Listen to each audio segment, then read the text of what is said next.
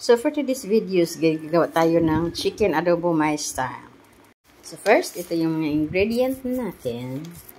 So ito yung chicken natin. Mix lang siya ng chicken breast wings at saka chicken thigh. So i-marinate na natin yung ating chicken. Napaka, medyo napadami yung ano, tipar. But we will see if ano mangyari dito.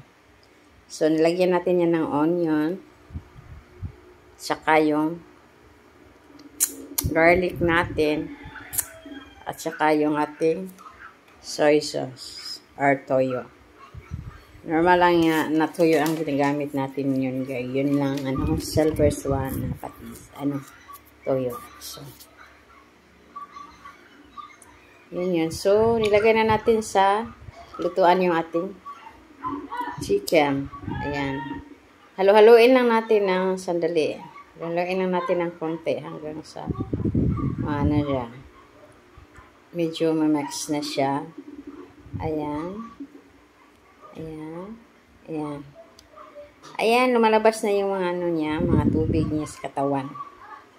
Ayan. So, mix ulit natin yan hanggang sa mag medyo mawala na yung tubig.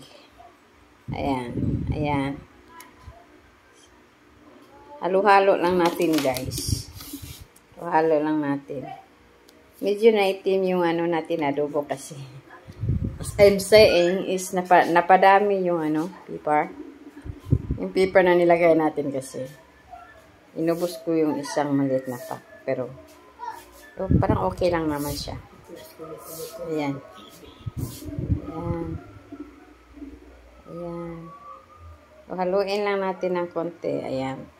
Nagmamantika na siya guys. So it means that luto na siya. Luto na siya guys. Ayan. Luto na siya. At ito na yung ano natin guys. Yung chicken natin nilagay natin sa ating rice. Kasi nagmamadali na tayo. Hindi na tayo nagpiplating. So thanks for watching guys.